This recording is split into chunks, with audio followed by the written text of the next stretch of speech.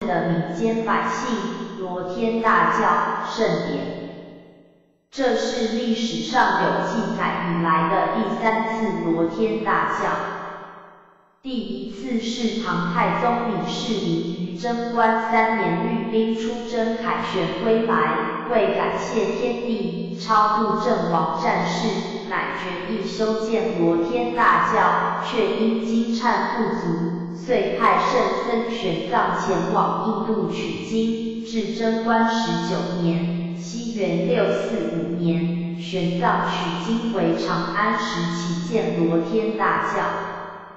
第二次于明嘉靖三十四年，西元一五五五年，由宰相主持修建罗天大教。传闻宋仁宗时亦曾举行过一次。第三次的摩天大教传说天意主由民间百姓起建。而台湾是中国历史上真正人民做主的国度，台南市又是台湾文化古迹的重镇，鹿耳门则是台郡咽喉，府城天险，是郑成功的登陆地，是改变台湾历史与台湾人命运的关键地点，并由引领阵亡，驻伊潮水，而得以登陆，打败当时。西方列强的荷兰人之天上圣母，鹿耳门妈，传达上天意旨办理罗天大教，实属天时、地利、人和之盛世，圣和之士分子所强调的合理性与正当性。当时的摩天大教的科仪顺序是。第一次举办金鹿谢恩祈安方教，古朝之玉皇上帝教，自农历十月十日至十四日，一共五天，普渡一次。第二次举办金鹿三元降福方教，古朝之三元三界教，普渡一次。第三次金鹿攘迎祈安保净福教，三朝之火教；第四次金鹿攘灾祈安福教，五朝之王教，普渡一次；第五次金鹿九黄岭斗消灾延寿教，九朝之九黄岭斗教，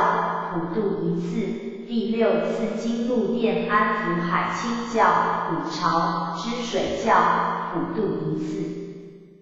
接着举行黄鹿超度大斋、五朝之地府超度以及玉鹿显无大斋、五朝之邪教各普渡一次。第七次是齐安清教、七朝，最后则是闰十月二十八日的开棺大普度。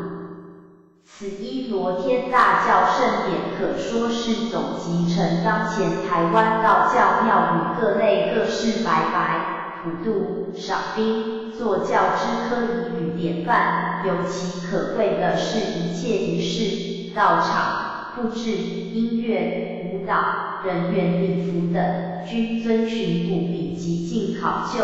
奠定了日后鹿耳门天后宫文化祭之仪典基础。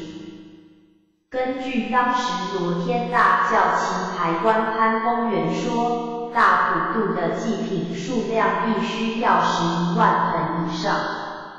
那是杜尔门妈转达上天意旨，不能责怪鸡童或捉头狮子大开口。巧合的是，旗牌官传令下来以后数日。安南区区长向苏南城市长报告说，该区的户口数正好是十一万二千多人，意味着府城草地再穷也要每人准备一盆祭品来普渡十方鬼魂，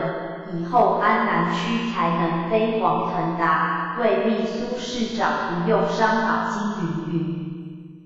而当时竟然也有人提供一百二十支甘蔗、一千二百斤重大猪公、一万斤白米等等，真是人算不如天算，很多无巧不成书的玄奇奥妙与神迹，都曾显示在各次教祭之时，令当时的苏市长啧啧称奇。当然，最重要的是，因为担任罗天大教总主会的苏市长与主持万民工商祈福法会的陈荣胜，事后都官运亨通，而今法非遴选出来的七大柱三十五会首等礼官，日后一法喜圆满，津津乐道于如此五百年难得遇上一次的功德。该次摩天大教的组织架构与领序概位，总主会下设七大柱三十五会首，主要职守分为大大主会、大主事、大主教、大主坛、大主谱、大主灯、大主灶、斗灯手与棋牌手。